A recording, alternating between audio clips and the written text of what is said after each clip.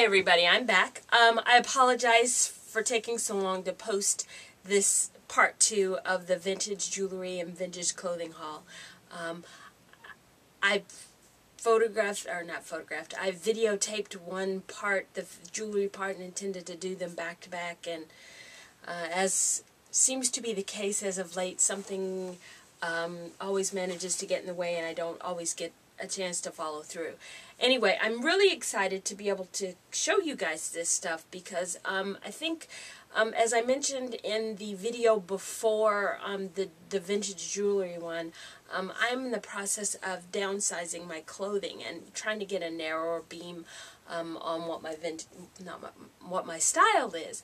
And I'm finding that the more I try on even the contemporary clothes that I have in my closet, and I try on um, the vintage clothes, that in both categories, I'm, even in the contemporary clothes, I'm looking for clothing that has more of uh, a vintage feel to it.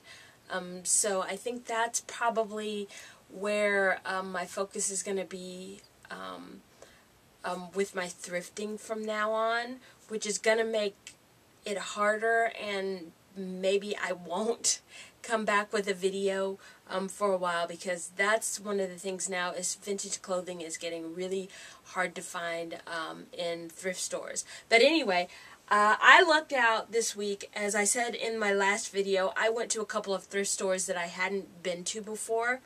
Um, one of them, I had the paper because I was going to put it in the box. I'll try to put it in the box. Um, if you guys are interested in where I went, um, just leave me a message and I'll get it back if you don't see it in the in the description box um, for this video.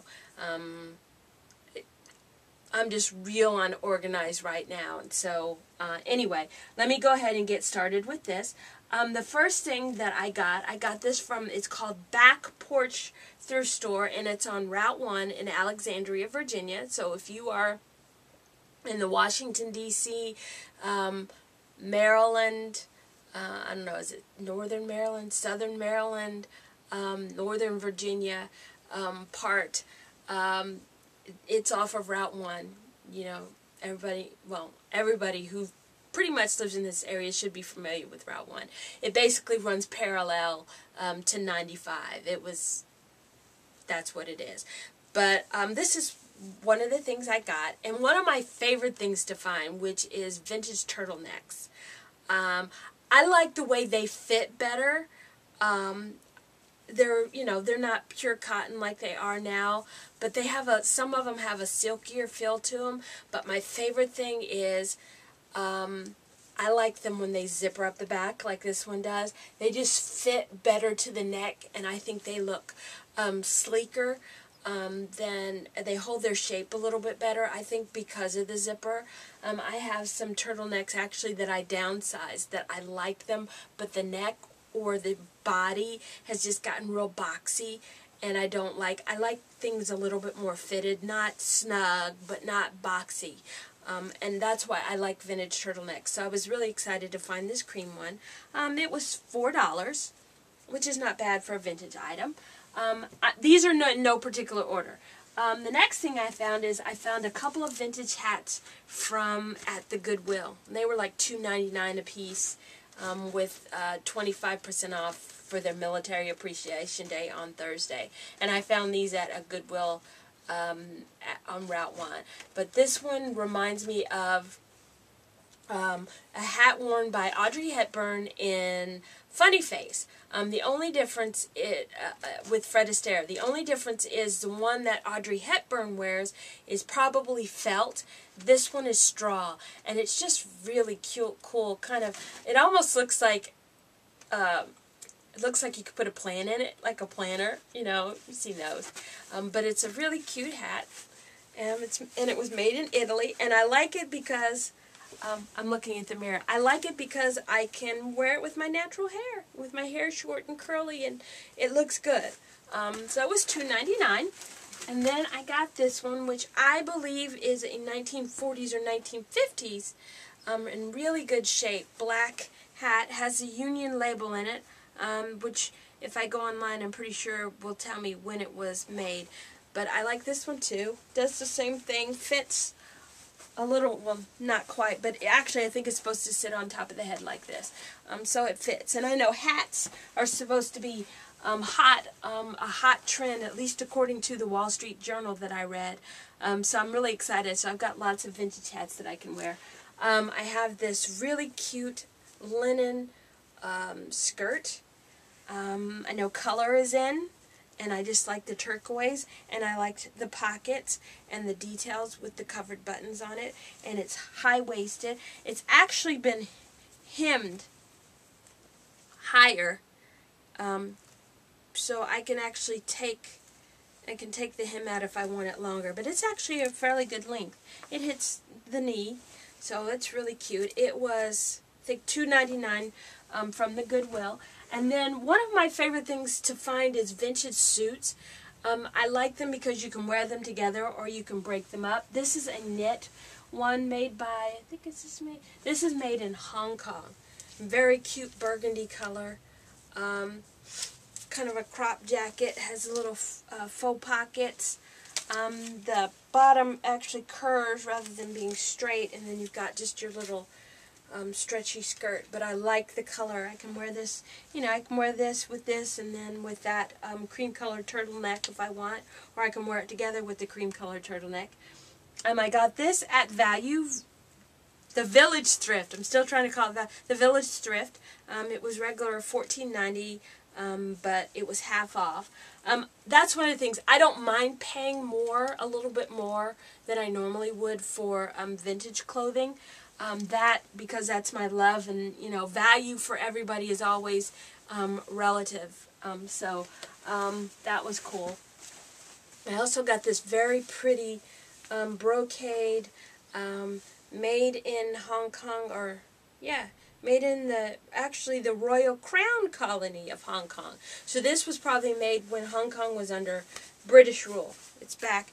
Fits great it's got the little slits on the side um, I don't know. I may wear this for a Christmas party. It fits really nice. Um, hits just below the knee. Very cute. Was $9. Um, then I got this velveteen um, hunter green blazer and the vest to go with it. And I got this at Back Porch Thrift. And I got it for, I got both pieces $2 for both. So a dollar a piece. Um, Really like that. Um, I'm not sure if this is vintage or not. I think it is because, well, it's made in the U.S. It's Harve Bernard, and it just looks different, but it's a little pencil skirt. Very cute. This one I got at a place, the place called the Thrift Super Center, which is actually right down the street um, from from the back porch. Um, just a black pencil skirt, but what I like is the, the detailing, the little pleat up at the top. Um, and it was $6.90, and, and this thrift store actually has the tags, um, you know, different color tags, and it was half off. Um, plus they have a day two, um, 25% off. I got this one as well. Um, this one I think is a 1940s, um, and I actually have the belt, and that's very rare to get the belt that goes along with it. But a 1940s dress, um, zippers down the middle, just black, um, really cute with the collar. Um, $9.98, it was half off. Um, super center. Um, I got two red velvet dresses. Um, they're completely different. This one reminds me of like 1960s. It might be older than that, maybe 1930s kind of thing. Long. It's got a bow in the back metal zipper all the way up. Doesn't have any tags in it, um, so I'm guessing it might be handmade, but very pretty um, for the holidays. I don't know. I may keep it. May keep it. May put it on Etsy, which one of these days I'll get my Etsy, Etsy shop open. I really like this one. Um, it was $14.90 and it wasn't on sale, but I could not pass this up. And it just so happened the day I was there, they also had 25% uh, off for military. So uh, if you guys don't know, my husband's in the military, so I got 25% off of this. But I just love the heavy embroidery on it. And it's lined with the silk lining. um, here. I don't know if that's the original lining or not. I guess it is. Or whether that was added in, I'm not sure. But anyway, it's just really cute. Um, cute little dress. Um, with the bow and big bow in the front and the straps. And then, let's see, I think this is, yeah, this is the last one. This is my last of my haul. And this is another red dress. This one is long sleeves and hits off the shoulders. Um, it has a bow in the back as well. Closes with a metal zipper. Um, it's fully lined, uh, has no labels inside that I have been able to find yet. Um, and it actually has a slight train on the bottom.